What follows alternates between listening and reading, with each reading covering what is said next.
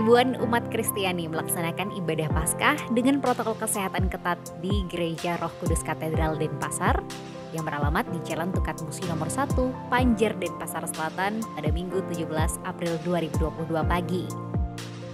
Jemaat yang datang pun diwajibkan menggunakan aplikasi Peduli Lindungi di pintu masuk.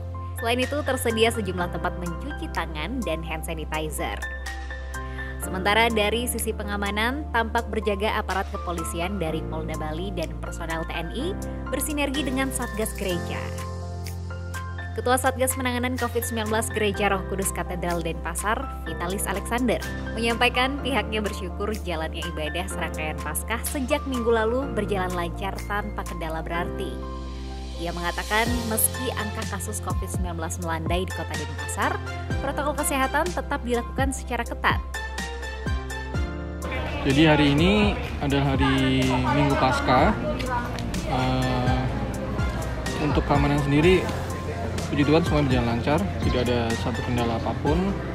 Kami juga mendapatkan backup dari kepolisian, kemudian dari internal keamanan gereja sendiri sudah bekerja dengan baik, dan juga ada tim satgas juga, tim satgas COVID yang menjaga dari Minggu Palma sampai. Untuk prokesnya sendiri selama pekan suci ini kami menghimbau umat itu yang bisa datang untuk misa yang sudah menerima vaksin lengkap kalau ada sudah terima booster syukur.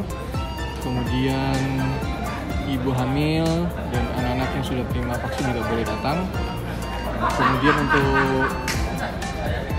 uh, pekan suci ini dilihat dari situasi di kota Denpasar sendiri yang sudah landai, sudah di level 2, uh, eh, jumlah umat yang duduk di satu baris itu kalau sebelumnya itu 3-4 orang, sekarang sudah bisa lima orang. Kemudian juga kami menghimbau semua umat juga memiliki aplikasi peduli lindungi, jadi sebelum datang di scan. Kemudian kami juga menyediakan uh, hand sanitizer, kemudian setiap kali misa selesai disemprot disinfektan.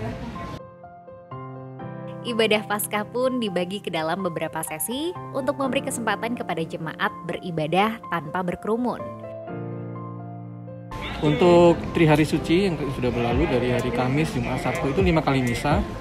Jadi jam 6 pagi, jam 9 pagi, jam 12 siang, jam 3 siang, dan jam 6 sore.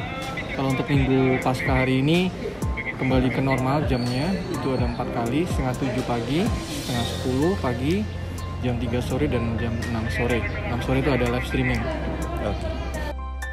Jemaat yang datang ke gereja pada setiap sesinya juga diatur oleh Satgas COVID-19 gereja.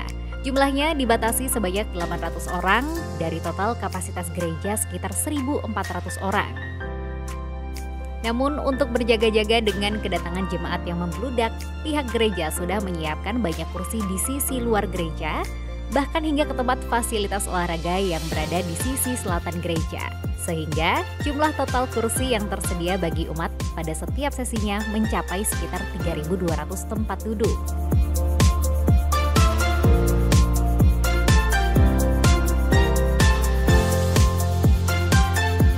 Yuk subscribe akun YouTube resmi Nusa Bali.